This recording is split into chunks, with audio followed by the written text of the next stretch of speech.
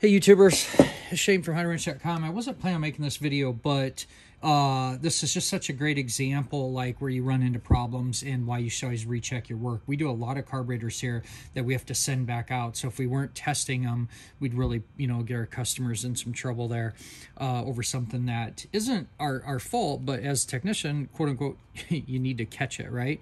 So what we have here is we have the uh, the center fuel pipe is leaking. I got brand new OEM uh, Triumph parts here to replace. And while we were at it, we got a couple other uh, seals and stuff to throw in there and, and make it all OEM Triumph. So the, the thing I was going to do with you is I'm going to show you where it was leaking.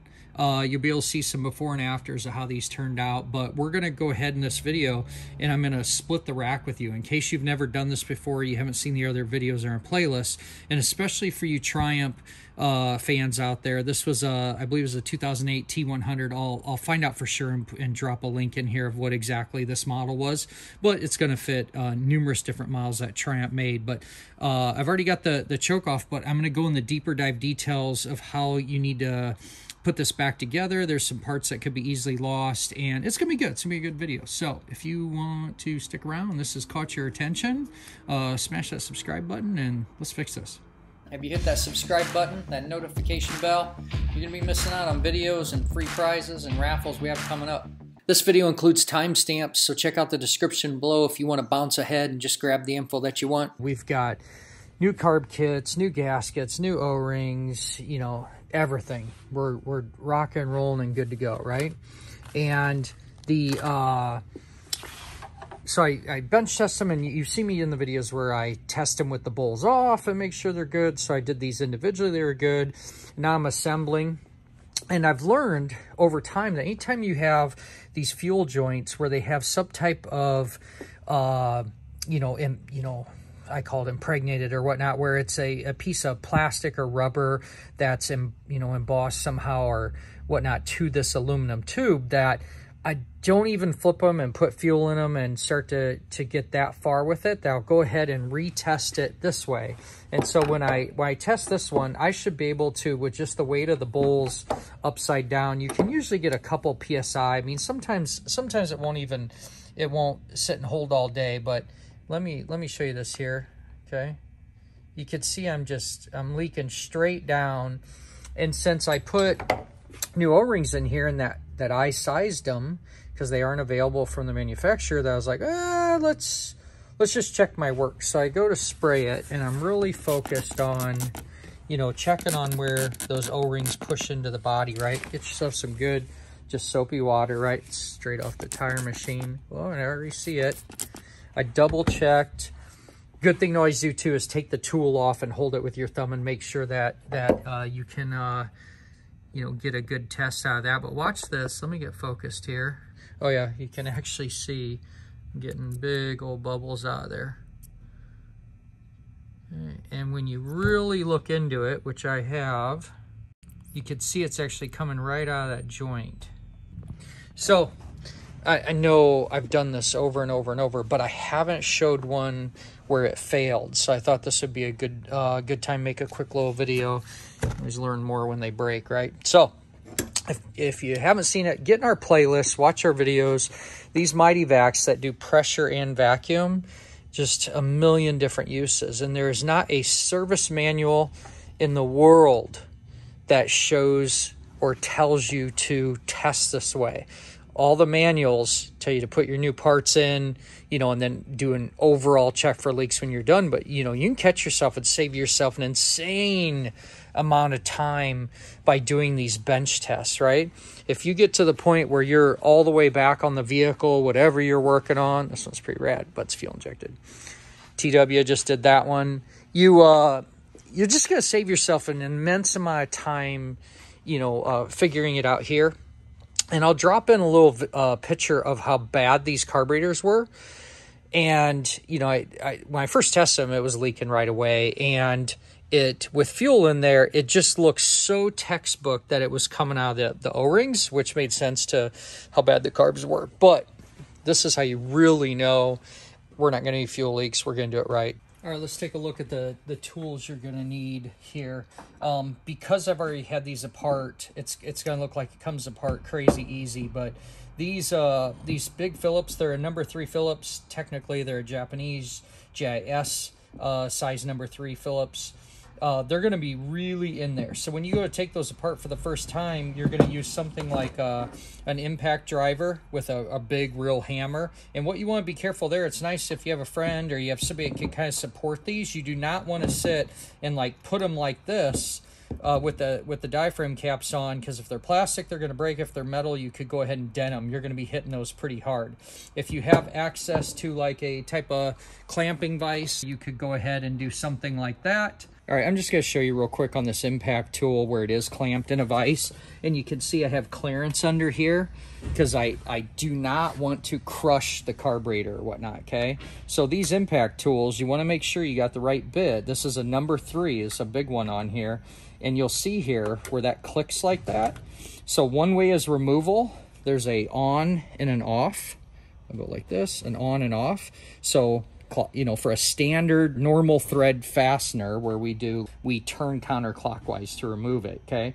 What I want to do is I want to take the bit and I want to tap that bit down into the uh, into the fastener. Okay, so I drive it down in there because this is gonna it's gonna take when I hit with the hammer and the tool, it's literally gonna shock it and turn the fastener. So if this isn't fully seated, all it's gonna do is rip and damage the fastener. So I want to make sure I'm good and fully seated. That gives me a little test too on my clamp to make sure I'm good. We don't want to break a linkage or break something in the carburetor. And then I can go in here, put my impact on. And like I said, what I really want to do, like get this whole is this all in the video? Okay, I want to take and take out any free play, any of that wiggle wiggle, get rid of it. I want to load it in the direction that I actually want to remove the fastener, okay? So since I'm doing removal, I go here, take up all that free play, and then just smack it, and now you can see it came out nice and easy, okay? For installation, okay, I just clicked my tool. Do you see how that clicks? For installation, you go ahead and kiss it, get the fastener kissed, and then same thing, give it a whack, and that's good. That's it. Um, with some soft jaws. I might be going over some stuff that's just way too basic, but if you know it, you know it, and if you don't, you don't. So, all right, let's get back to the tools uh, at hand here. Okay, so these, like I said, these are the ones that tend to be a bugger, and uh, you're going to need something uh, like this. I have a full video on how to use an impact driver. Um, I'll put a link below to that. Uh, let's see what else we got. So on this particular set carburetor, there's a, a, through shaft bolting up here. Happens to be on the Triumph, happens to be an 8 millimeter. I'm going to use a wrench on one side, socket on the other, have that waiting and ready to go. Um, our big problems, like I said, is the usually the joints in between the carburetors that are being fed there. They either have O-rings or, or uh, a leak like I said, in that pipe itself. Since this one is rubber, is actually formed as part of this tube, as you can see from the replacement, uh, there's the only way to, to fix it is to get the whole assembly, which was actually really nice. That was quick and easy, one part number done. Okay, uh, the other thing to split this rack is you're going to have a choke assembly here where we're going to be taking, you're going to see this more when we go to uh, uh, assemble it, if you will. Let's hit the brakes real quick and, and keep in mind I am going to show you completely how to install this but here's some really important callouts when you go to take this apart for the first time. Let's start the top left and uh, top right corners. So there's the screw-in uh, plastic washers.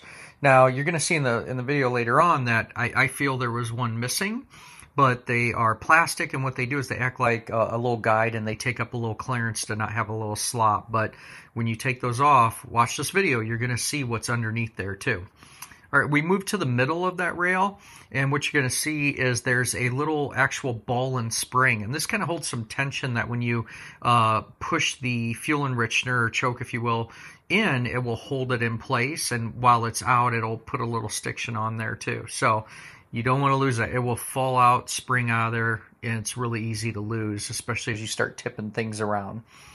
And then ultimately, when you go to pull this assembly apart too, you'll see by the yellow box on the bottom side, there's two really fine springs on there that help uh, hold this from rattling because it's a twin and it's going to vibrate. So that's what they do. They need to be there. They're important. Don't lose them. All right. One more note before you split the rack is that when, when we start to separate a multi-cylinder carb rack on the throttle valve itself, on the, the part of the throttle body that goes from the stationary carb to the adjustable ones for synchronization, you're going to see we got another little spring in there. Let's look at these springs up close just so you don't have any problems. We'll start with uh, photo number one here on the left, and you can see the spring is installed there. And what we have is that spring sits on, I'll call it a little nub, right? So if you look at the bottom of picture two, you're going to see there where the that spring uh, goes over that nub. So when you pull this out, you want to pull it from the top side and pull it out so you don't violate or bend the spring real bad. And then there is an additional spring, like this one is, is just going to go flying. But when you actually do separate it, since I have the photo here, there's a spring in number three. That one just kind of gets sandwiched in between those two halves and creates a little like I said, just a little bit of tension on there to to hold for the vibration. But when you that one's hard to kind of pick out of there without damaging it. So I'm just really mindful that it's there in between any racks where I have two uh, two carbs going together. So all right, let's take a closer look at the carbs themselves. So what I like to do is get that spring out of there before I split the rack instead of it just going and flying across the across the room. So you're going to see me take uh, that spring out as well. And then on this particular one, on this Triumph, we had a, uh, a vacuum line that was attached here that has to be separated so we can separate it. And then another thing you'll notice here is that uh, when we separate the rack, this little spacer is going to fall out, and then we have an atmospheric vent tube that's going to uh, come out as well. And that's what a couple of the seals that we're going to put new, since we're going back in there, we've got two of those. Um, these these don't tend to be the big problem. The big problem is usually on the uh, fuel side of things. So if if you're looking for a full video on how to do the slides and the jets and the floats and the uh, the needle and seats and all that, I've got that already done. It's in our fuel systems playlist. I'll put a link below to that as well. And uh, let's go ahead and start to uh, look at some of the other tools before we split this. One thing I like to have handy on the on the table waiting is I like these small hammers uh, to basically, you know, tap that shaft through. I, I don't want something massive to where if I slip, I'm going to break an ear off or I'm going to damage the carburetor that way. So that's one thing to keep in mind. Um, a couple little straight flat blade screwdrivers. Uh, they kind of make it helpful when we go to take out these springs to kind of get in here and basically just, I'm going to pry this up and out of here. I'll put the camera up close on this when I when I go to uh, get it apart. Because what you can't see right now is that okay there's a little well actually I can show you. There's a little nub right there that that spring sits on okay on the bottom side. On the top it's flat. It just rests against that but that little nub's on that side. So if you noticed you probably couldn't notice because it's very, very hard to film, is I was prying it out this way, knowing it would stay seated on the bottom, and then I'd be able to get it out the top and then just get it on my way. I wouldn't mess with the synchronizer. If you, if you really don't mess with those, they tend to be pretty close unless someone's really got in there and gotten kind of crazy.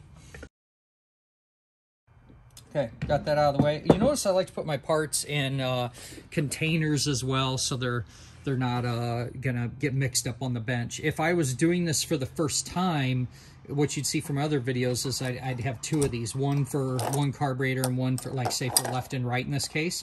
If it's four-cylinder, then I have four of them, one, two, three, four, so on and so on.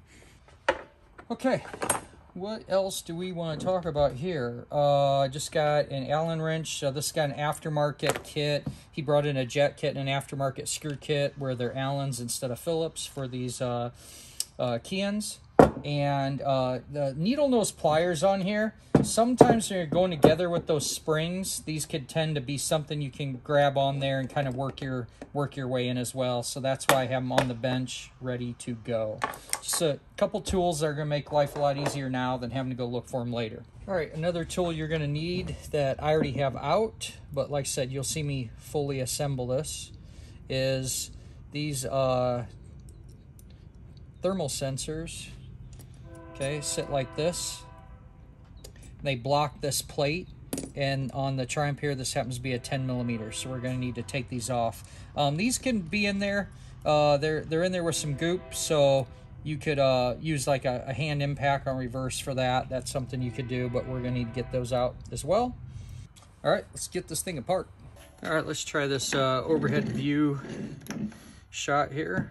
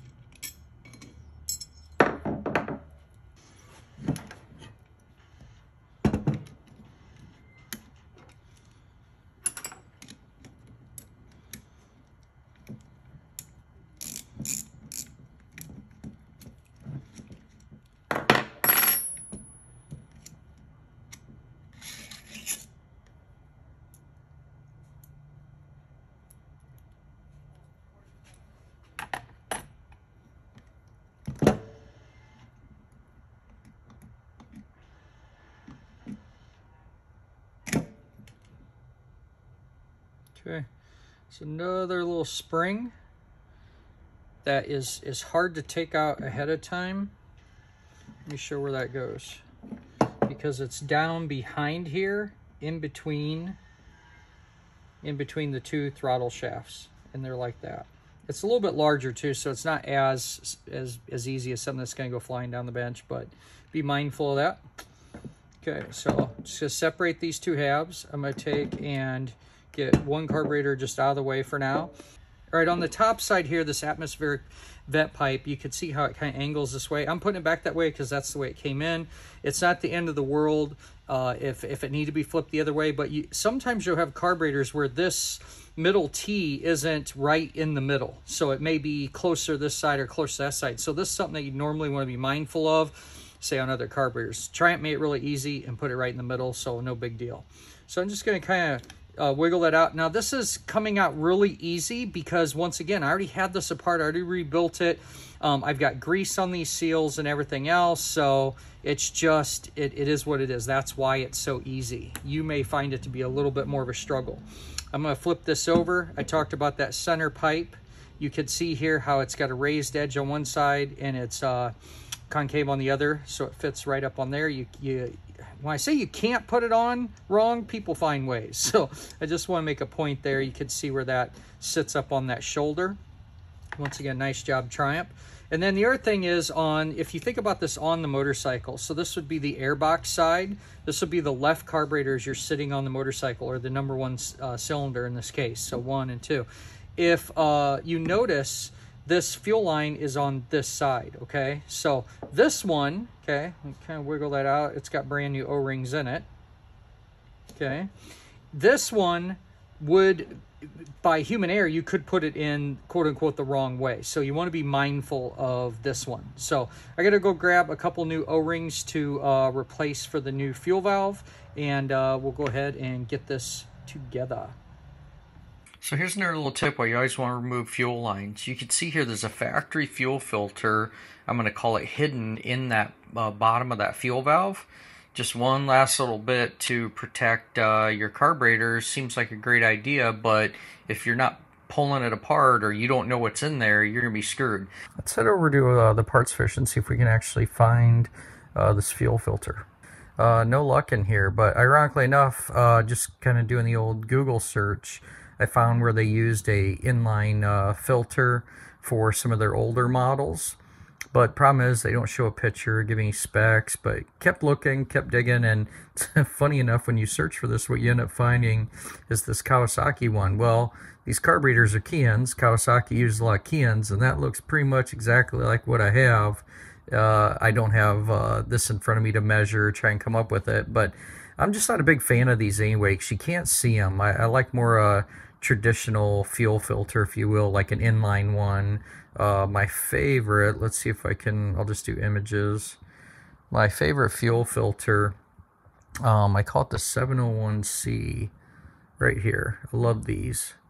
These are just some of my favorite fuel filters because they're small, they fit really well. You can actually get these uh, with a 90 on there, but hey, whatever uh, whatever you want to do there. I, I like OEM, but I, like I said, I just don't like that filter being hidden down in there. You forget about it, overlook it, be easy enough. And also, as you're going to see later in the video, I'm just not a huge fan of pulling on the fuel line, uh, taking this fuel line off, you know, that T on there, that's really what ends up cracking these. So let's keep building these uh, carbs. And like I said, there's just a few more tips for you on this Triumph. All right, I got my new uh, fuel safe O-rings, and one thing I wanted to show you that that I like to do is, you know, this is a manufactured edge, right? This is aluminum that's turned on a lathe, so you want to make sure and put some uh, put some grease around that so that when you put that O-ring on there, you're basically just rolling it on there and not dragging across a sharp edge. Then what I want to do is kind of rotate that around, make sure that I got a good feel all the way around that's not stuck or humped up or something. And I don't want any dirt or anything to get underneath or in between that as well. The other thing, uh, so let's grab a grab another one. Lube that up. Feeling that edge. If you feel a sharp burr, I would remove it. Just hold that with my fingers and then just walk it walk it over, okay?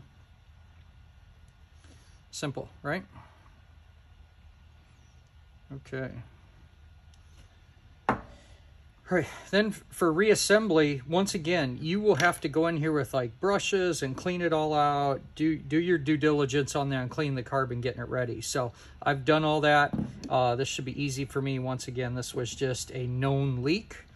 And then, like I said, since I had this apart, and now it's funny, since I've had this on the bench and talking and whatnot, I don't really remember which way this um, this was. So I got to go look at my dang photos and try and see if I can remember. Let's see if I can remember from, I think it was that way. I had it like this, and then I had it that direction, I'm gonna go double check my photos. Another really good tip I can give you is take photos before you take it apart. The only the only problem you have there is if you're doing a carburetor for someone else, the last person could have put it together wrong. So just keep that in mind as well. Okay, feeling good. I'm gonna go ahead and pop these off. I just kind of like check them. You know, they were so cheap to just buy new. I wouldn't say that that's as common uh, that people are replacing parts on the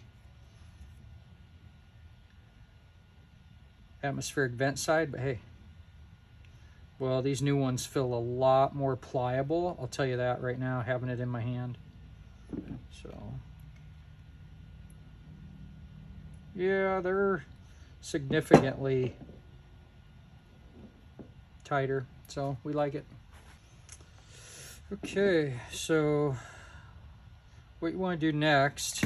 So you got to remember that what we're dealing with is bringing these together and we also have the spring we want to get in there and this one we can get in there after the fact. Okay, so uh, let me go ahead and see if I can, as I'm working this together, Okay, I'm going to go ahead and before I just give it that final push.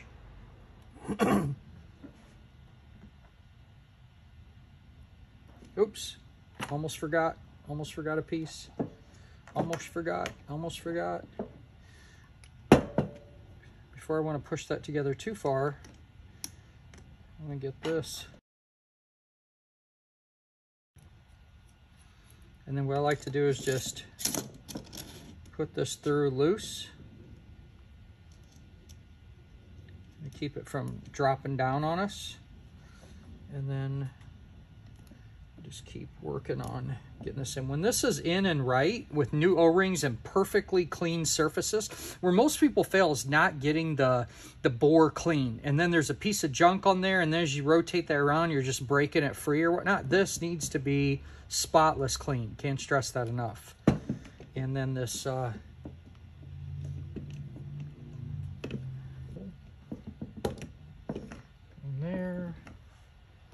good there. See we're nice and even. My spring didn't fall out. Life is good.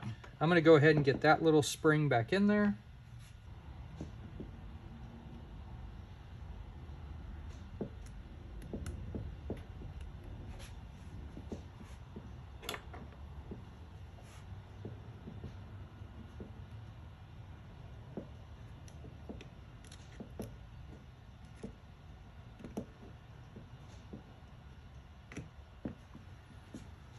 So hopefully what you could see is I kind of went in at an angle and then just basically rolled that in. Before I walk away or get too crazy, I want to make sure I'm sitting on that seat. Okay, and I can go ahead and give it a little test. Okay, and I can even, I will go ahead and press these and make sure it doesn't go flying out of there. Okay, so we're, we're all good there. Everything's good. And we are at that point to where we could start to reassemble this. Now, I don't, I don't ever see a torque spec or anything for these screws, but these are something where they're getting on there and you want to make sure they're on there good and they're not going to vibrate out. So I like to put just a real tiny little dab of uh, low strength, like medium, or it's not low, medium strength Loctite on here. That's the way I do it. You can do it how you want. It doesn't, uh, um, they since they're on the bottom of the carburetor and especially like something that's a a, a vehicle that vibrates a lot and rigid mounted motors and so on, uh, I get a little concerned about if they came loose, they'd fall out, fall on the ground, you wouldn't even know. So once again, small little dab of medium Loctite. I say Loctite, and then I go grab Permatex, right? I must be feeling pretty confident that my leak is fixed too. Because if I would have done this last time, I would have needed to pull these out like right away so that I wouldn't have to use the impact tool.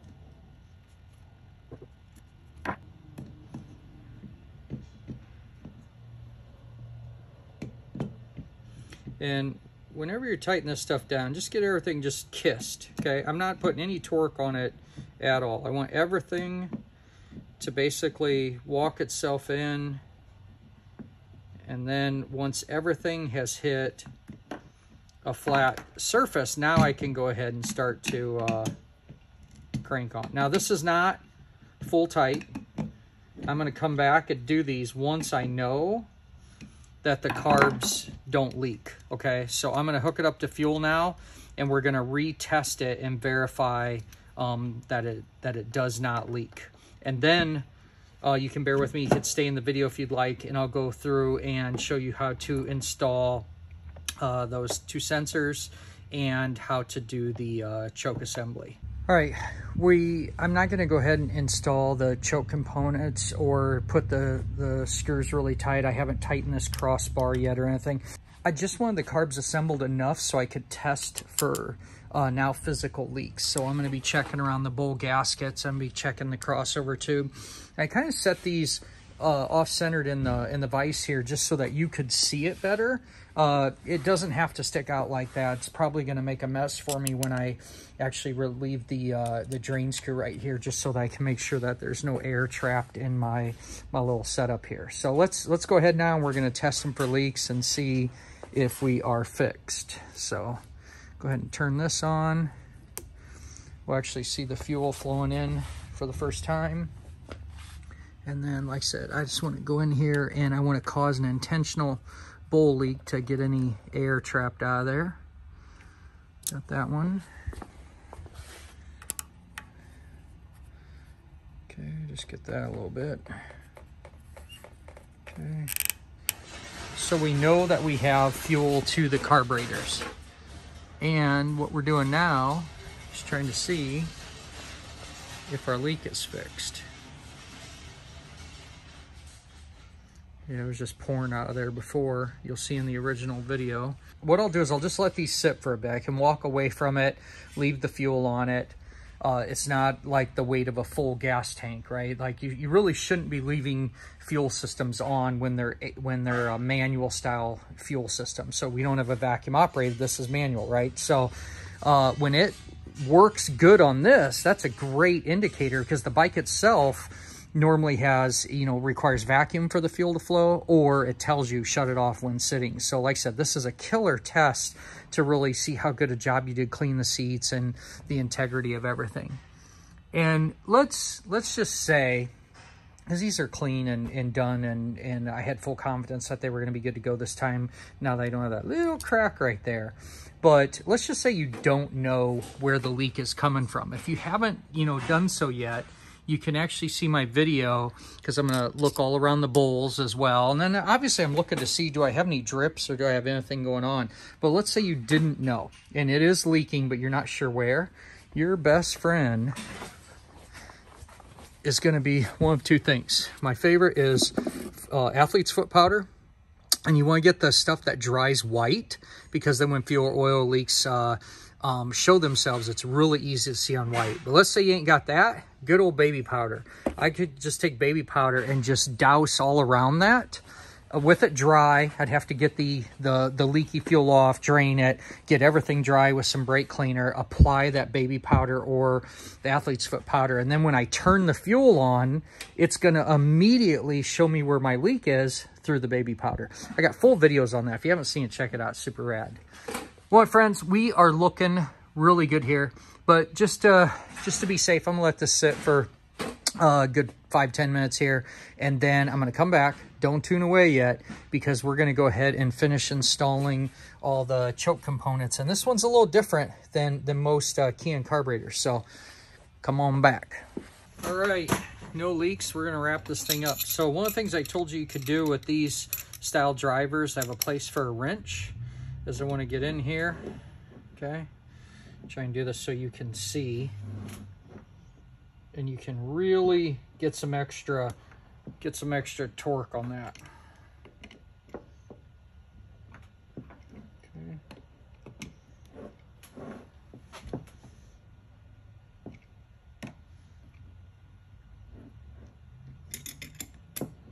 All right, let's get some of this stuff out of the way that we don't need right now.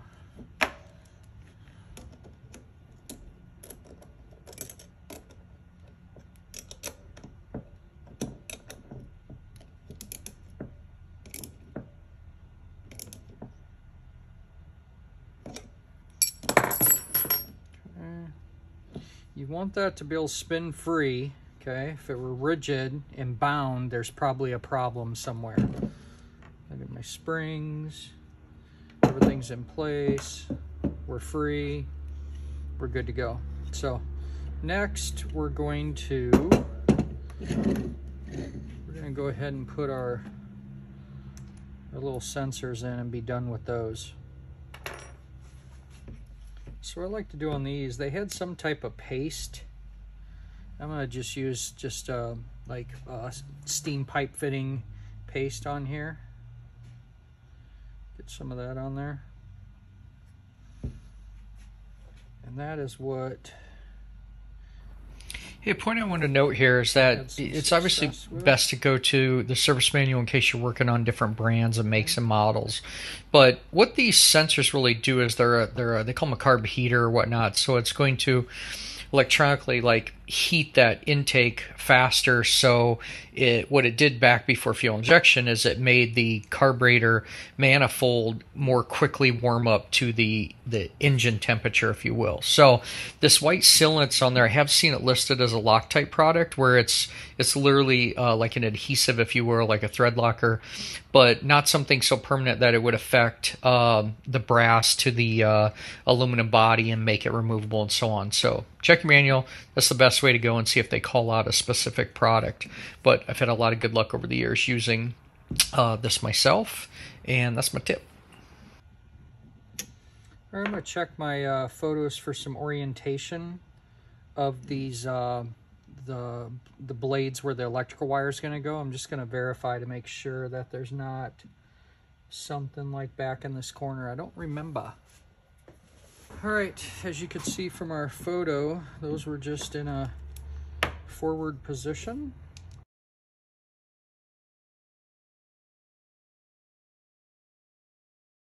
All right, I told you a special treat for the, the choke assembly.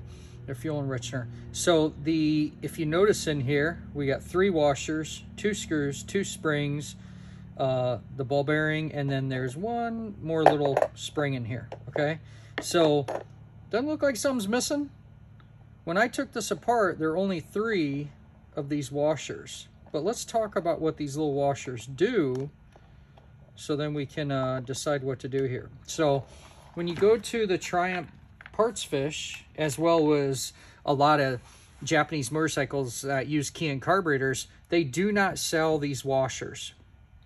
And I mean, it's something where you take it apart and it goes flying, or you don't know what's there, you're going to get it lost, it's going to be a problem. But what this does, it's a little piece of nylon that allows this, you know, this uh, choke rod to slide back and forth. So it creates like a, a little guided area, if you will, so it's not metal to metal contact. So what you see here is we see we have a boss on the carburetor. So we have one that goes like that.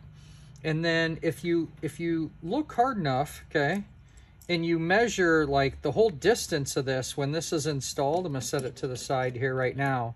When you have this on here, this is gonna sit and flop all over the place if you don't have a washer on the top side.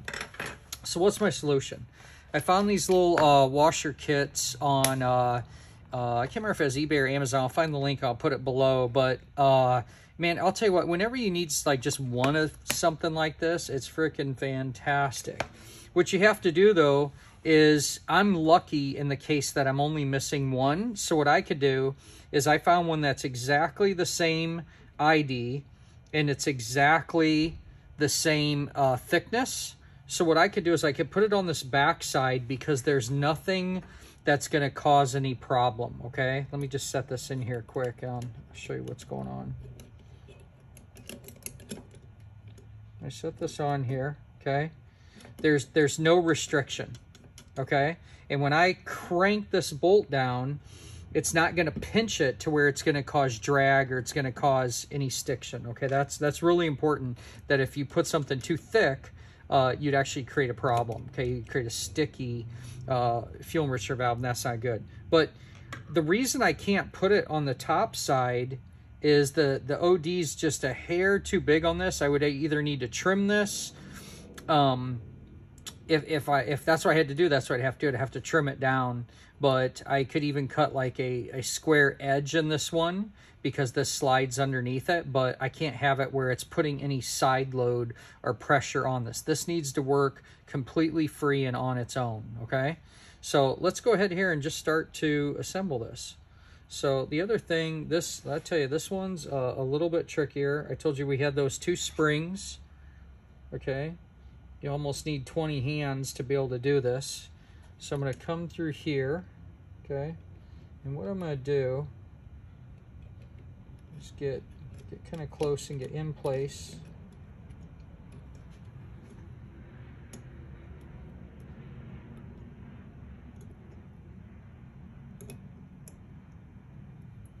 When I said 20 hands, I wasn't I wasn't joking.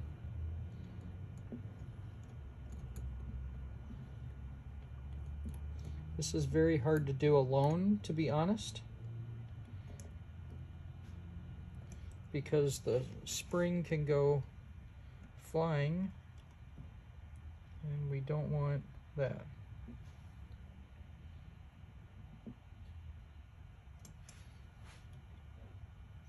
So I'm going to go ahead here and grab onto the end of that. Okay, that one's on. See if I just catch that outer edge. Come on. Got it. Okay. Okay. See how that takes up that free play that's in there? And what, what I want to do is I just want to test this right now before I put that other ball in spring. I've actually got something else I got to do here, but because I'm modifying it, I need to make sure I'm not going to be causing uh, any problems. So you're actually watching me actually work through a real problem. I didn't forget this other spring, but like I said, I got to make sure that this doesn't bind. And so what I'm going to do is I'm going to put the stock ones back up here and it should sit just a hair proud. See that? That's what we want. And let's see how this one goes. Because this is the one with the, the aftermarket washer. Okay. Tighten these down all the way and make sure, look at that, no binding. Woohoo! eBay, saved the day. Okay, super rad. Now that I know that, I'm gonna assemble it 100% the right way. Man, I got lucky that that kit, that those plastic washers happened to be the same thickness. I think they were one millimeter is what they were.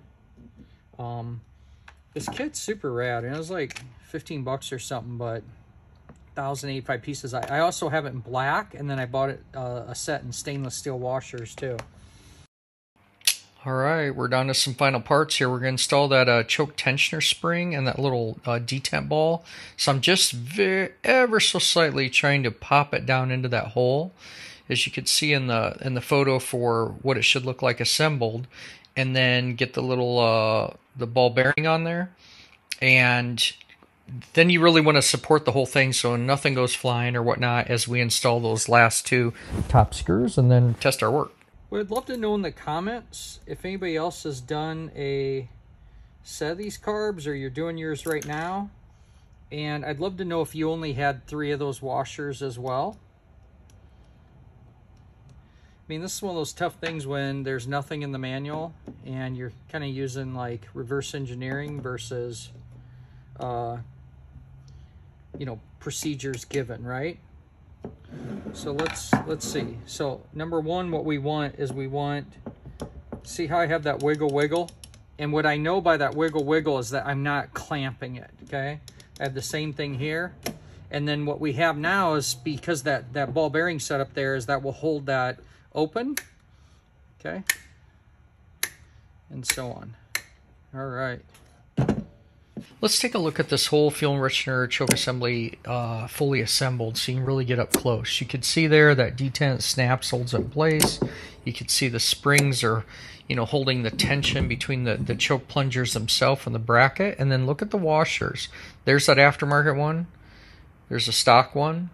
And what we want to do is we want to grab that bracket, like I said, and look for that like wiggle wiggle on there, making sure that there's no binding whatsoever. And if it's even close, you got to think about things expand when they get hot, contract when they get cold. So we really, really want to check this. And the great thing is, is we have the the left side there uh, to compare against a stock OEM one. All right, couple last things that you want to do to set this up on the bench. I'm going to put this uh, vacuum line back on. Um, this one was like a perfect shape. That's a really cheap part to go ahead and uh, uh, replace if, if in doubt at all.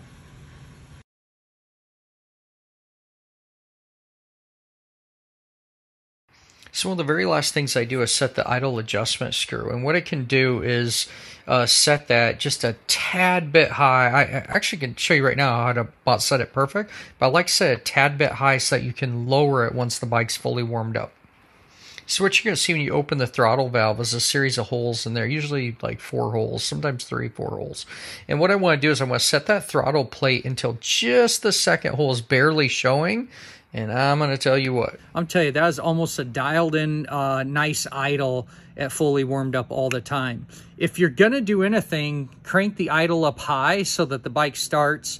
And then once it gets fully warmed up, you can bring the idle back down. If you leave that too low, what happens is people are revving the crap out of the bike, run, run, run, like that, you know, instead of just letting it like warm up, or it's it's always going to die, so they're grabbing a handful of throttle. But like I said, just uh, just get that to where that hole is. That first hole is just like, you know, the first hole showing. You know, like I said, you could be a, even a little bit more proud, and you will uh, find yourself in a nice starting point. All right, this is super rad. I got this uh, really cool magnifying glass for my, my iPhone here. And with an app, I can get in here and really zoom in and and uh, really inspect a part. So it's pretty wild to find the little crack here that I'm going to show you in this photo.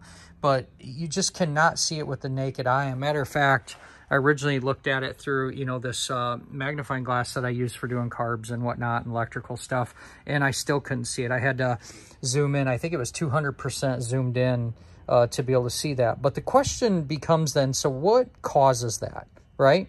Some people say, well, it's just really old, okay? So this one is uh, a little bit stiffer, obviously, when you think about the, the years of it. It's an 08, so it's, it's old, right? But what really hurts these is when this is rigid in the carburetor and people really crank on that trying to get the fuel line off. Where's the, uh, I don't have the old fuel line handy, but when they go just cranking back and forth and back and forth trying to get that fuel line off, they put a lot of stress on that, and that is what really um, speeds up that to braking. So something to really think about. Like when you're when you're taking these off, you want to make sure that you're you're pulling off this way. You're getting a pick like under that fuel line and and and basically breaking it free before you start putting like a lot of side load on there. Another thing that uh, you'd have to modify it for a fuel line, but I've thought about doing this, is taking something like these, where you could modify a set maybe and get in there. They're basically just to take lines off uh, nipples and whatnot. But I don't know, maybe there's a cool future video just waiting to be made to do uh, to do something like that. You ever seen one of these plier racks? Pretty cool um, yeah, so anyway, just want to give that little point, like, you know, that is something that adds this. I'm going to chuck this one up to be an old uh, as well, but hey, hey, my friends, I hope uh, you enjoyed this video. If you, uh, if you haven't done so yet, make sure and smash that subscribe button, follow button, wherever you're watching this at. And then uh, it sure helps us out. And, uh, if you haven't done so too, uh, another great way to get all the videos and to be really connected with us uh, to get answers on like a lot of tech line stuff, you can join the community. It will be the best couple of bucks you spend in your life. Uh, there's a couple options there. Some do the $2, some do 5 some do 10 and then there's one-on-one -on -one for 50 Anyway, Love it. Details below. There's links, all that good stuff. These things turned out pretty rad. I think our customer is going to be pretty happy bringing his uh, Triumph back to life. All right, next we could check the throttle position sensor against the specs in the manual. And uh, I'm going to go ahead as a bonus feature for channel members. I'm going to show you how to do that. So if you're not a channel member, you better join now. Otherwise, I'll put a link in this video to that video on how to set the throttle position sensor. Thank you for all you members for joining. The rest of you, uh, still appreciate you coming by. If you found this video useful, drop a comment below, a like, share, all that good stuff. All right, my friends, as always, make it a great day and keep wrenching.